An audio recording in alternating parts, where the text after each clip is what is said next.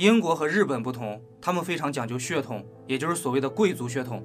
为了保住自身血液的高贵，他们不惜近亲结婚。当时欧洲皇室之中流传着一种可怕的病症，名叫血友病，也被叫做皇家病。顾名思义，这种疾病只有欧洲贵族能够继承，因为这是一种遗传病。普通欧洲人根本没有资格和贵族通婚，自然也就没有机会患病了。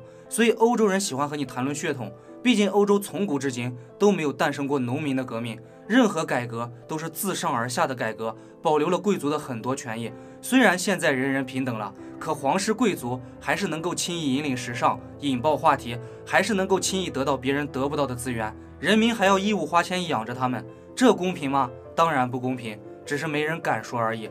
日本这边我们比较熟悉，自古以来就是一个门阀社会，门阀世家几乎包揽了日本的一切军政要务。不信你看看历任的日本首相，哪一个不是门阀世家培养出来的？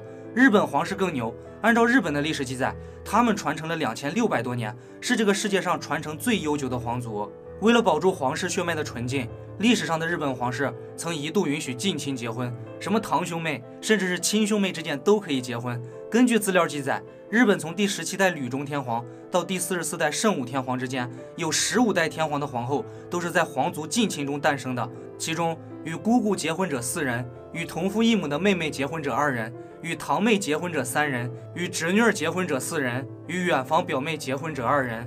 长期的近亲结婚。严重影响了日本皇室的后代繁衍以及健康状况。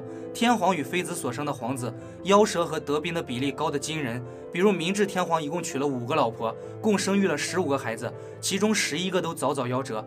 仅有的一个儿子大正天皇还是个神经病，经常在公共场合大出洋相，这让日本皇室也意识到了问题的严重性。后来再给天皇选皇妃的时候，也不得不选择民间的女子了。所以日本和英国很像，他们都实行君主立宪制。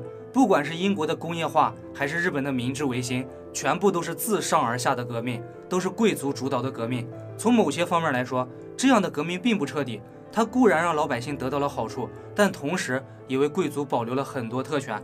这些特权使得贵族依然是贵族，平民永远是平民。我们这些外人看不出来，他们国内却明明白白。即使是在现在的社会，一个普通的英国男孩也不敢去高攀英国皇室的公主；一个普通的日本男孩想要大有作为，除非娶了门阀世家的女儿，不然纵有今世之才，也难有出头之日。